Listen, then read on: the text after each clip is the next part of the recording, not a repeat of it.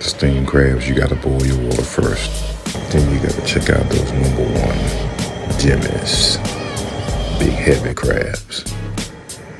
And you gotta place them in there with seasoning, just like that. Y'all see this steam rolling. Oh man, you gotta come back and make sure they're nice and orange. Lord have mercy.